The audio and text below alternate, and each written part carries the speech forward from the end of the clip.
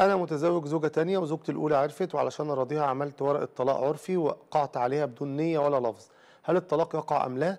مع العلم بوجود أطفال من الزوجة الثانية وإن دي آخر طلقة إن وقعت.